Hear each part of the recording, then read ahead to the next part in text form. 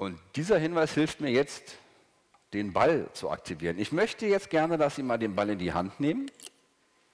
Nehmen wir mal einen blauen. Und versuchen mal nur zu werfen und zu fangen. Geht im Sitzen, geht im Stehen, wie Sie mögen. Jetzt versuchen Sie mal, das die andere Hand machen zu lassen. Vermutlich Ihre schwächere, nur um das Thema Gewöhnung mal anzusprechen. nehmen Sie mal wieder Ihre gute Hand. Und jetzt nehmen Sie mal die andere Hand, die leer ist, oben drüber. Das heißt, Sie werfen und die Hand geht rauf und runter. Ja, ist schwierig.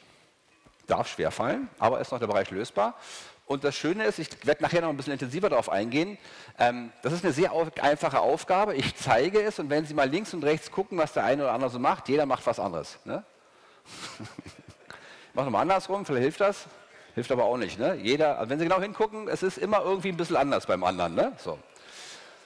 Das wird nachher nochmal wichtig, weil an diesem Beispiel kann ich mal sehr einfach erklären, es ist zwischen Menschen ist der Bereich Wissen nicht ohne Probleme übertragbar. Ja?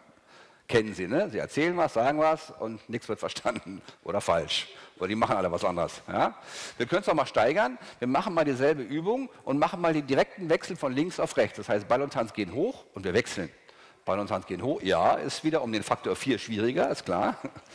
Und auch hier erleben wir und sehe ich auch unterschiedlichste Lösungsansätze. Ich zeige mal, das hier sieht anders aus, ist es auch. ja? Gezeigt habe ich, Ball und Hans geht hoch und wenn der Ball den höchsten Punkt hat, Komma, und die Hand noch über dem Ball ist, dann drehen wir die Hand schnell unter, weil der fällt ja runter. Andersrum gesprochen, wenn Sie Angst und Risiko spüren, dann ist erst richtig. Ja? Wenn Sie nichts spüren, ist das hier. Ja, oh, ist ja einfach. Ja, ist was anderes. Das meinte ich. Hoch und Wechsel. Hoch und Wechsel. Ja? Genau, das Einzige, was passieren kann, ist, dass ein Ball runterfällt. Mehr nicht. Ja, genau. Und das Irre ist, wir hören es ja auch, nicht wenige lachen auch. Wir können es doch mal steigern. Wir machen mal folgendes: Ball geht hoch und der andere Arm geht zzzt, durch. Noch ein Wurf, zzzt, Arm geht wieder raus. Da werden Sie gleich Widerstände spüren, die gar nicht da sind. Wir hören es auch. Machen Sie sich keine Sorgen, dass es schwerfällt, weil ich zwinge Sie gerade beide Gehirnhälften gemeinsam zu benutzen. Das muss schwerfallen. Ja? Ja. So, auch hier zeige ich die verschiedenen Lösungsansätze der Kollegen. Das ist fast die Lösung. Können Sie erkennen. Ja? Viele glauben, dass das richtig ist. Gezeigt habe ich durch das Problem zwischen Hand und Ball. Ja? Wenn Sie häufiger so gemacht haben, kann es passieren, dass Sie im nächsten Mal so versuchen.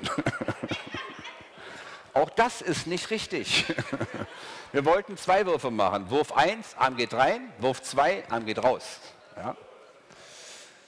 So, das Interessante ist, wenn es dann läuft, ja, unterstützt sie auch ihr Gehirn schon nicht mehr, wird es schon langweilig. Machen Sie mal andersrum. Andere Hand wirft, andere Hand geht durch. Fangen Sie bei 0,0 wieder an. Ne? Und wir haben dieselbe Lautstärke. Ja? Okay. Ist heftig. Müssen Sie drei bis sechs Mal probieren. Ja? Genau. Ist schwierig. Genau. So. Soll mir erstmal reichen. Sie brauchen mehrere Anläufe. Ja? Sehr gut. Jetzt versuchen Sie eine völlig neue Situation. Wieder Faktor 4 schwieriger. Die Hand, die jetzt runtergeht, fängt den Ball. Eins, zwei. Macht Mörder-Eindruck, ist aber völlig albern. Eins, zwei, das ist Bewegung. Eins, zwei. Machen es mal mit der anderen Hand, nur um zu gucken, ob die sich schlechter oder sich besser anfühlt. Und als Hausaufgabe ja, machen Sie das dann hinterher. Verstehen Sie das? Was passiert hier? Oh, das ist irre, ne? Das passiert bloß nacheinander. Erstmal Stück für Stück. Eins, zwei. Die Hand, die leer ist, geht nach oben. Geht wieder runter und fängt. Die Hand, die leer ist, geht nach oben. Geht wieder runter und fängt. Auch hier, Sie erleben gerade den Veränderungsprozess. Ne? Erstmal, ja, was soll dieser Blödsinn und und und, dann versuchen Sie es. Und dann irgendwann kommt eine Akzeptanz. Ne, wird, jetzt erleben Sie das gerade. Ich zwinge Sie aufzustehen, indem Sie aber den Ball liegen lassen. Das ist das Schöne. Und wir werden einfach mal, geben Sie mal, wen auch immer, jemanden guten Tag, ganz normal, so wie sie es immer machen. So. Das heißt, ich lasse jetzt jemanden suchen, dass sie jemanden zum Händeschütteln haben. Ja, Wenn es am Tisch keiner ist, drehen sie sich um, ist vielleicht da noch einer übrig. Ja? so, jetzt machen wir aus. Müsste ich einen, wer sind Sie sind am nächsten an der Bühne, Sie trifft es zuerst. ähm, Sie sind Herr? Herr Mikat. Mein Name ist Elas. Wir versuchen, machen wir ganz normal. So, jetzt machen wir was völlig Neues.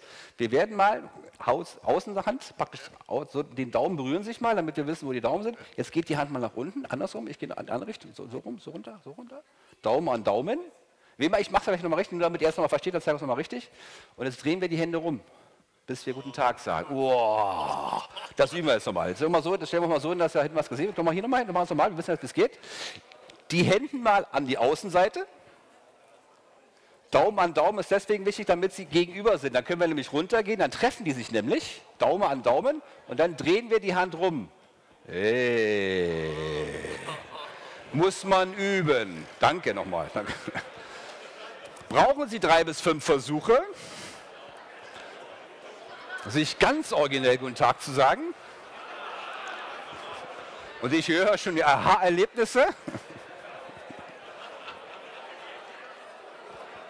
Das heißt Daumen an Daumen, wenn Sie diese Ballübung machen, wenn Sie sich, ich sag mal, bescheuert Guten Tag sagen, ja, haben Sie nicht nur Blut, mehr Blut im Gehirn, sondern Sie haben gerade eben einen ganz kleinen Ausschnitt von Motivation und Begeisterung erlebt, obwohl Sie überhaupt keinen Plan hatten, was das alles soll.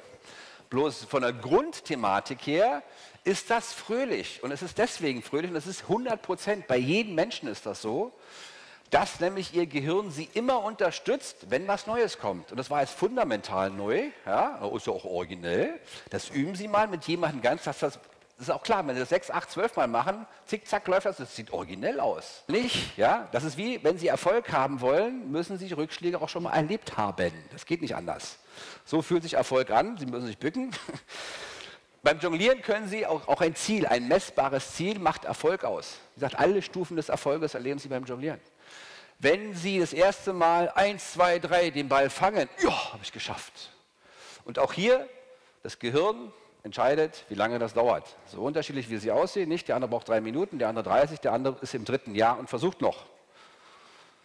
Bloß wenn der nach dreieinhalb Jahren das erste Mal fängt, schreit er das Haus zusammen weil der länger gebraucht hat. Ist doch klar. Da ist doch der Erfolg viel größer, als wenn einer, ja und, wo ist das Problem? Der erlebt ja gar nichts, wenn es so schnell geht. Das heißt, es macht auch Sinn, etwas länger zu brauchen, weil die Erfolgs, das Erfolgshonorar ist um ein Vielfaches größer. Äh, wenn, wenn Sie noch nicht jonglieren können, für diejenigen, die jetzt nicht die Hand gehoben haben, behaupte ich trotzdem, Sie alle sind Jongleure.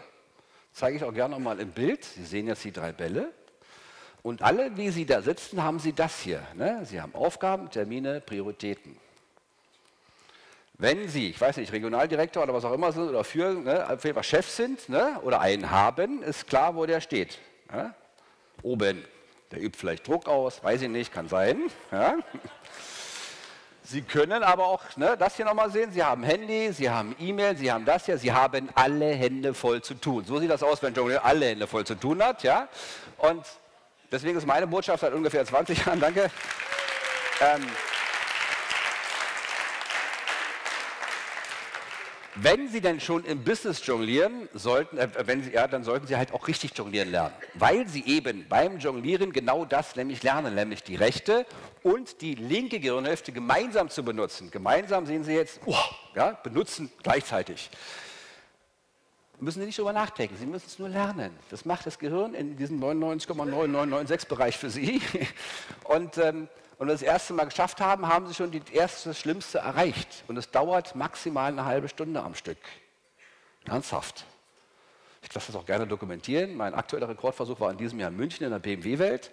Habe ich mal wieder zum öffentlichen Jonglier-Schnellkurs aufgerufen. Dann kam, mein Ziel waren deutlich über 200, 64.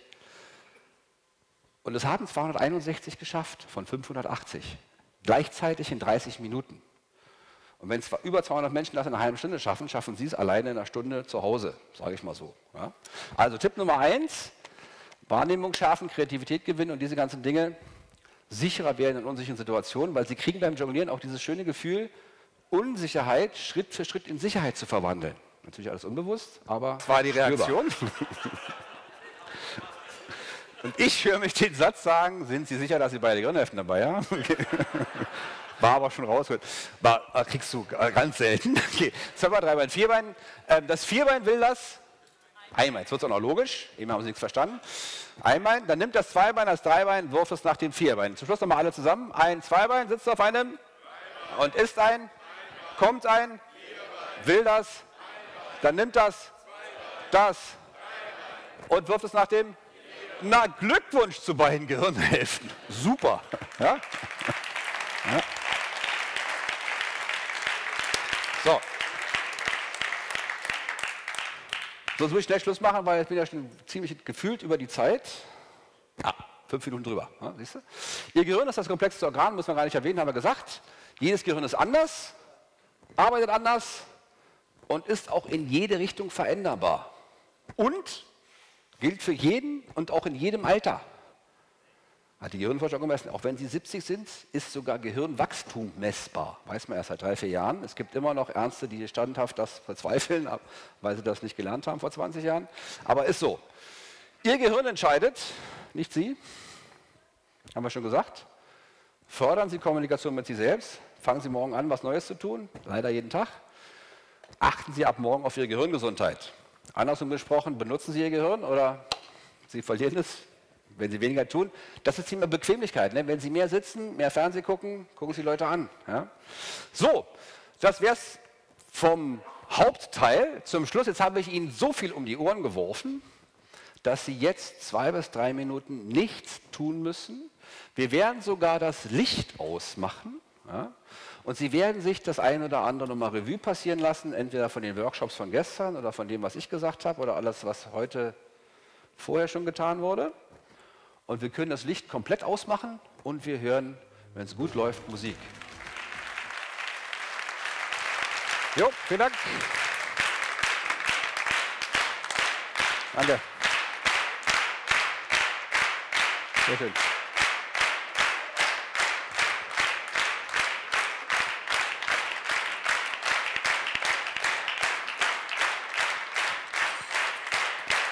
Bin sprachlos. Sie sehen mich sprachlos. Vielen Dank.